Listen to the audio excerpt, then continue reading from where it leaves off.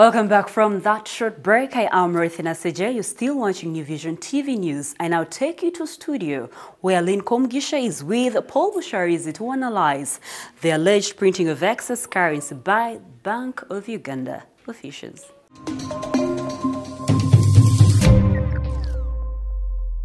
Hello, my name is Lynn Komgisha. Uh, we have had several stories about the Bank of Uganda saga Government agencies are telling us their different story. The government is telling us it's different story. I don't have to ask further. Police is telling us its own story. And I have with me here, uh, with, uh, I'm here with Paul Busharizi. Paul, who is fooling who? Well, um, I, I don't know the details, but there are certain. Neither do I. There are certain there are certain parts of the story that has come out that, that should just be shut down immediately. -huh. So, so, so the story I think is that um, um, this uh, in April, mm. at the end of April, the Bank of Uganda received um, uh, print currency it had printed. Yep, yep. And uh, going by the governor's statement, um, it seems that there was there were questions about the consignment or how the currency came in. Uh, what we've been reading in the press is that apparently with the with the consignment of money were other people's money. Not money. Other things. Goods, yes. Ah, okay. Yes, certain people's and organizations' goods. And um, I think the suggestion has been that when uh, transporting money, it should be exclusive. There, sh there should be an yes. exclusive charter. Yes. Uh, with no other people's yes. uh, goods in it. So I think the story then goes that um, when the central bank realized that there were other people's wares with mm. their money, that they alerted high authorities to investigate how this came about and all. You know, that's very interesting because the lead suspects are Bank of Uganda officials. Why is that?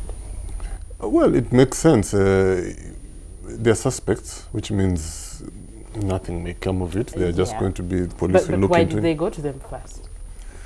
I mean, it's just like, uh, you know, God forbid, uh, when uh, one person in a couple is murdered, mm. they look at the other person in the couple, uh, just out, out, of routine. That yes, yes. If the wife is murdered, they look at the husband. If the husband is murdered, they look at the wife first. So if there has been a theft with all those security precautions mm. around it, the first person people to look at are the Bank of Uganda. There's the rumor that mm. there was extra money printed. But that, first of all, let's, let's deal with the extra money. Okay. Printing money uh, first of all, printing money is done by what they call security uh, printers, Print okay. people who are certified security printers. Okay. Essentially, uh, it's not just you just don't just walk in and give them an order. mm, certain it's a process. Exactly. Mm. So you don't go to the printer. It's not like Nasser Road where you go to the printer and tell the guy add for me a few more stickers or a few more posters one, uh, that's not the nature of security printing. Right. Two, I can assure you that whoever those security printers are, Ugandan business mm -hmm. of mm-hmm. currency is not their biggest, they're not their biggest client.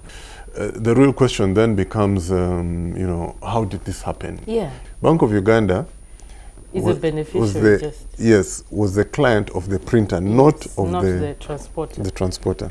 So uh -huh. it is, and I, I kind of find it strange that the printer would, you know, if Bank of Uganda asks for exclusive charter mm -hmm. or within their contract, mm -hmm. that they would do this. So I think that's what's going to have to be resolved.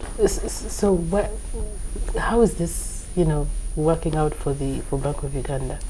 No, of course, it's it's not. You know, central banks don't want to be in such kind of of things. The central bank's uh, reputation is supposed to be beyond reproach, and uh, you know, this kind of of of misunderstanding, if I can call it that, mm -hmm. and coming out in, into the public mm -hmm. just doesn't. It might uh, it might end up being no big deal. I, I know. Thank you, Paul. You're welcome.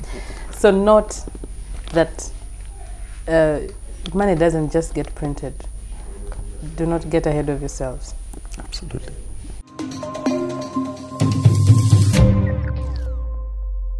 Thank you, Lynn, for that insight. I have to remind you that the Bride and Groom Expo is on this year. It is starting next week on Friday the 28th and it will end on 30th. That is three days of planning your wedding.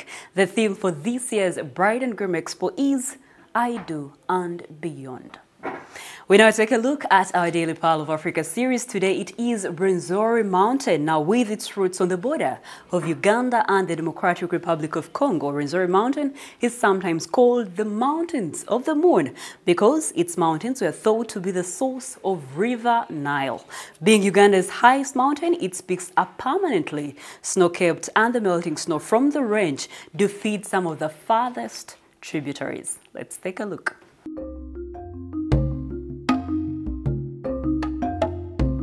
Located in southwestern Uganda and shared by both Uganda and the Democratic Republic of Congo, Rwenzori is one of the highest mountains in East Africa. It derives its name from Enjura, meaning rain in the local language. The locals always saw the mountain as the source of rain, hence the name Rwenzori or Rwenzori. The Rwenzori Mountains reach heights up to 5,109 meters or 16,762 feet above sea level. The highest Rwenzori peaks are permanently snow-capped. Margherita Peak on Mount Stanley is the highest point in the range. The mountains were formed about 3 million years ago and are in an extremely humid area, frequently enveloped with clouds.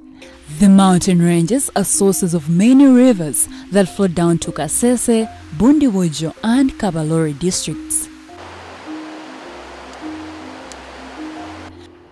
The Bakonjo and the Bamba live in the lower ranges of the mountains, both on the side of Uganda and the Democratic Republic of Congo. The mountain attracts so many tourists who come for mountain climbing as well as seeing the animals that dot Queen Elizabeth National Park and Semuliki National Park at the foot of the mountains. The combination of spectacular snow-capped peaks, glaciers, V-shaped valleys, fast-flowing rivers with magnificent waterfalls, clear blue lakes, and unique flora contributes to the area's exceptional natural beauty. The region is glaciers, waterfalls, and lakes make it one of Africa's most beautiful alpine areas. Activities at Rwenzori National Park include birding, culture encounters, hiking, trekking, and nature walks. The park has many natural habitats of endangered species such as the African forest elephant and the eastern chimpanzee. The Rwenzori mountain can be accessed through Fort Portal town, then south to Ibanda and the southern route through Kasese that crosses the equator twice. That is it for today. Thank you for watching. Join me next time as we explore Uganda on New Vision TV's Pearl of Africa Diaries with me, Ruth Nasije.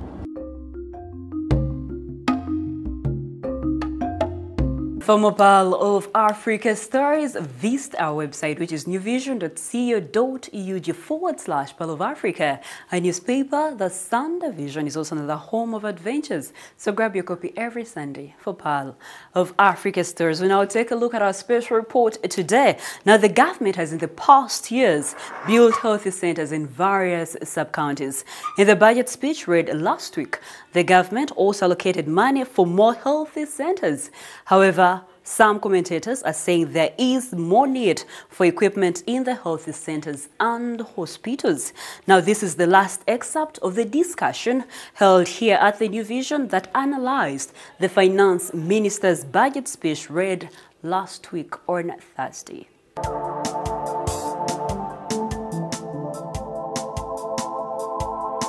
I'm looking at page 30 where the following interventions will be prioritized functionality of lower level health facilities by providing additional resources for operations and upgrading 124 health center 2s to health center 3s um, streamline health referral system to reduce pressure on super specialized Mulago National Referral Hospital, construct staff houses and maternity wards in 81 health centers, improve supply of medicines and health supplies and strengthen controls of more efficient drug management across the country, improve human resources for health by training local health professionals and strengthening village health teams.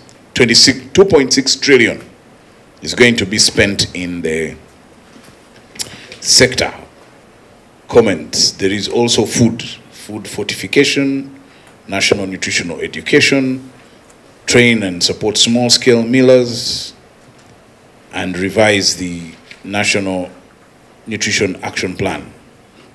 So, you have, yes, Sise, shoot, it's right there. Actually, I was looking at uh, Roman numeral one where they're saying improve the functionality of uh, lower health facilities by providing additional resources for these. But functionality doesn't go in isolation with staffing.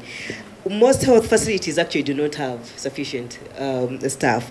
That's why you realize that doctor patient ratio, and at times we talk of uh, stock out, theft of drugs. You find that there, and, and at times the people who are at these health centers, most of them are actually, a majority of them are not well trained. When you go up country, you realize that actually, for midwives, at times you, you're going to get a local person who's just going to come and sit in because at times the in charge or whatever is away attending workshops and something like that. So this, I think, to me, much as we're improving the functionality, it shouldn't only be about upgrading. I think staffing in these health facilities is very, very important. What does upgrading actually mean? You may upgrade, and there are, when you look at the, the requirements. There are particular staff that are supposed to be in particular health centers. If it is a two, if it is a three, it is a one, you're going to find that um, as they keep upgrading, even the services offered keep on upgrading. But I want to also touch the question of safe water and sanitation.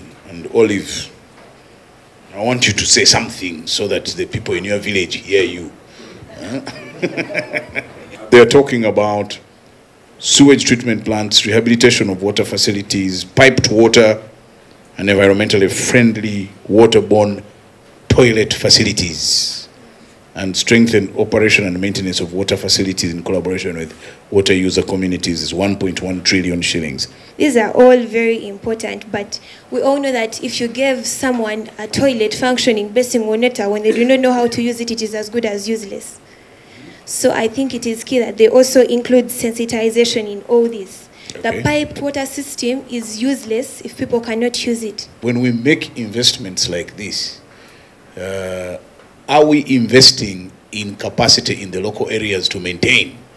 You go and dig a borehole in Nakapiripirit and there is a single person in Nakapiripirit who can maintain a borehole just simple mechanics to keep it running. The last time I interacted with the water sector, I found that every water user point has a water user committee. And mostly, water user committee chairpersons are women because they are the women who are in the business of fetching water and children. But when I look at the sensitization, to me, linking it with education would look at preserving what we already have. I've looked at this, I don't see harvesting the already existing water because the water that falls from people's roofs is wasted. If we would say that every health center that has roofs on different structures have facilities for collecting that water for both underground and surface tanks, then we shall minimize the cost of construction unless we want to say that those who are in the business of um, constructing boreholes and others are going to have bigger investment opportunities to put them. Thank you for watching. Be sure to catch more news updates and other programs here on New Vision TV by visiting our website, which is newvision.co.ug forward slash video. You can follow us on social media. Facebook is the New Vision. Twitter is at New Vision Wire. Instagram is at New Vision Wire. And our YouTube channel is New Vision TV. Catch up with me on my Twitter handle. I am Ruth the Voice. Now I say good night, but I end with a fact file.